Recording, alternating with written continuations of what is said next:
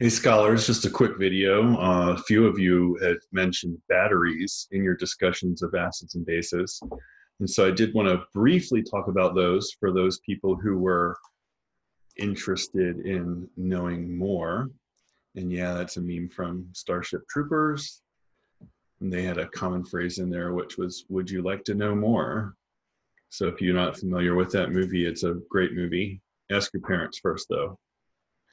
So lead acid battery, um, the idea with lead acid batteries, also known or seen a lot of times in cars, is that the reactions that occur with the lead, which allow that lead to transfer electrons, uh, those reactions can be coupled together so that those electrons have to flow through a circuit. And that's how you can provide current in order to be able to start your car, keep your car running. And the reactions rely on the presence or the use of sulfuric acid. And that sulfuric acid, remember that first hydrogen is the only strong hydrogen, strong electrolyte part of that sulfuric acid.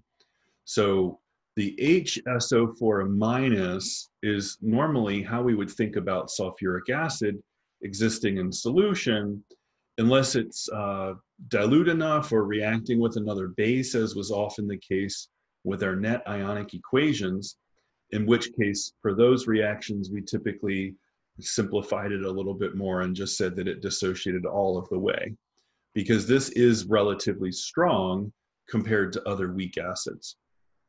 But in solution, especially acidic solutions, like your car battery, the sulfuric acid concentration is high enough where there's so many protons in solution, so much H plus, that the HSO4 minus, the hydrogen sulfate ion, really will not be able to dissociate further. And so in your car battery, you do have a lot of this hydrogen sulfate ion that comes from sulfuric acid. And this can react with one of the terminals on the battery and those terminals are made from solid lead or lead metal. And when that reacts with that lead metal, the lead metal doesn't go anywhere. It's just that that lead metal turns into this lead 2 sulfate, which is still a solid. So this forms on the surface of the electrode, and that liberates the proton from the hydrogen sulfate and two electrons from the lead. And then those electrons can flow through the circuit.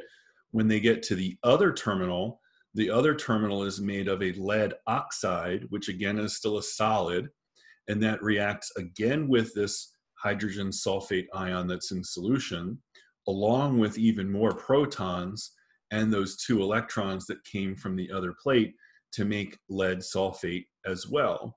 So both electrodes are turning into lead sulfate, lead 2 sulfate, but the difference here is that the lead on this plate started out as lead 4, with an oxidation number of four, or often a charge of four plus, is the other way to think about it. And the interesting thing here between both reactions is that we're really using up some of this sulfuric acid. And even the H plus here that we're creating, we end up using three of them in the other half reaction here, and so when we combine these two reactions, because remember, if you have oxidation, that has to be coupled with reduction. These can't happen on their own. Otherwise, we wouldn't really have conservation of matter or conservation of charge because these electrons really can only be transferred. They can't be created or destroyed in chemical reactions. So when we put these two together, what ends up happening is we end up consuming the sulfuric acid that's in the solution and creating more water. And so this is why sometimes with batteries, you can use something called a hydrometer to measure the specific gravity, also sometimes called the density of the solution. And the more discharged a battery is, the more used up it is, the lower the concentration of the sulfuric acid will be. And the lower the concentration of sulfuric acid, the lower the specific gravity. And the closer to one this would be, which would be pure water. So the more charged a battery is, the more fully charged it is, the higher the concentration of sulfuric acid in the solution, and the higher the density will be of that solution.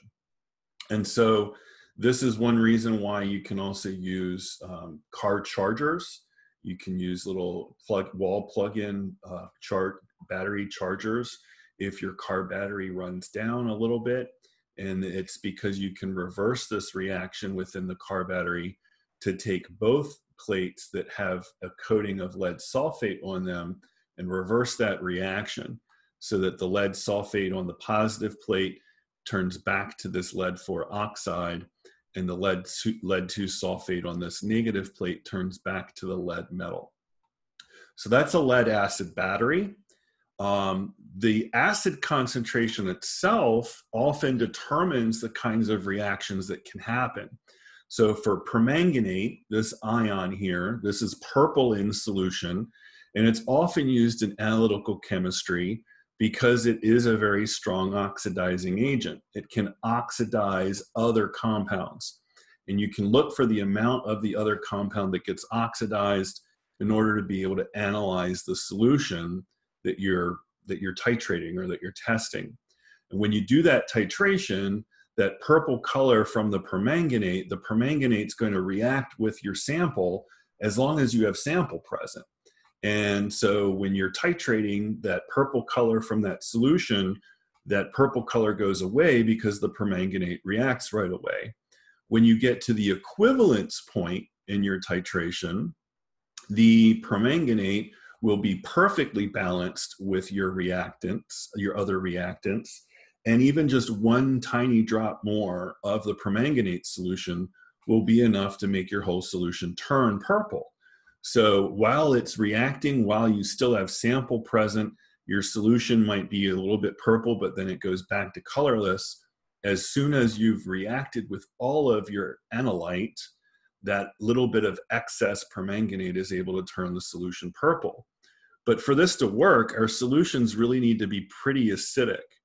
And so this particular reaction is the reaction that occurs with permanganate in very acidic solutions. And the permanganate 2 or the manganese 2, here on Wikipedia, they're saying it's pale pink. I think that's really only if you have a lot of it present in solution at a very high concentration. So that would be the pale part. Realistically, the permanganate is so purple that com- the concentration of the, the permanganate compared to the concentration of the manganese is basically purple to colorless.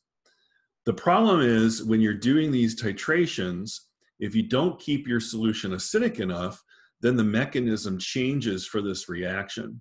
If it's not acidic enough, the most common problem with these types of analytical titrations is that you actually end up forming this solid manganese dioxide or manganese 4 oxide.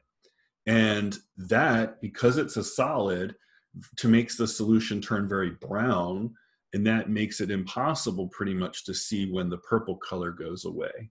And so if your solution in the titration is not acidic enough, then this is the reaction that takes over. But you can also, instead of making the uh, solution very acidic, you could also make the solution very basic and they left out the hydroxide here, but in a strongly basic solution, this is the reaction that takes place. And we actually see the permanganate, the manganese 7 get reduced to manganese 6.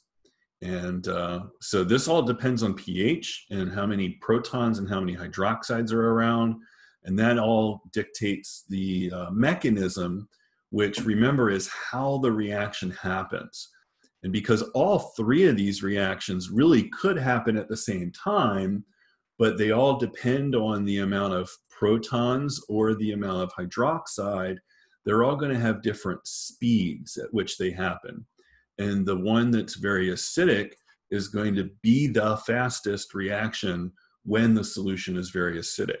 So that's why that's the only one we really worry about. So not only can pH change the kinds of reactions that occur, but we also have batteries besides acidic batteries like the lead acid battery or the car battery. We also have batteries called alkaline batteries. alkaline batteries are called such because they have potassium hydroxide or at least very large amounts of hydroxide within the batteries. So now the reactions within these alkaline batteries really depend on zinc. Look, here's that manganese dioxide again, or that manganese 4 oxide. And notice how the zinc reaction, the zinc reacts with the hydroxide, and this manganese dioxide creates hydroxide. So two hydroxides are consumed, two hydroxides are produced. So for these kinds of alkaline batteries, they really don't change their hydroxide concentration at all. And that's good when you're trying to design batteries and design the containers because you can design the container for one specific concentration of hydroxide. And so these mechanisms, these reactions only occur in alkaline or basic solutions. If you took these alkaline batteries and tried to make them work in acid, these would not be the reactions that would occur, and you would not be able to take the same materials that go into these batteries to create um, batteries with an acid solution instead of an alkaline solution. And so these are the typical alkaline batteries that you might buy from the store unless you're buying some sort of a lithium or a lithium ion battery. And those have different uses, and those are still redox reactions or oxidation reduction reactions, but those are also going to depend on acid base chemistry in different ways. And so these alkaline batteries, these are the types that you're probably most familiar with for AA and AAA and even the 9 volts that you might see in things like smoke detectors if you have the TI 83s still or 86s um, or 84s, maybe. I can't remember what the most common models were that some of you guys had, but those typically use the uh, AAA batteries. You might also see AAA or AA batteries in your um, remotes for your TV or your stereos. And C batteries are typically used in things like the larger flashlights and stuff. So um, again, this was just kind of a quick overview for some batteries, just to point out some of these pages that are here on Wikipedia that you could look at if you'd like some more information. Um, I can also help you out if you come into Zoom or email. I can give you some more information on these. And um, again, if the desire to know more has intensified, just let me know. And I'm happy to go over more stuff with you on batteries or oxidation reduction reactions.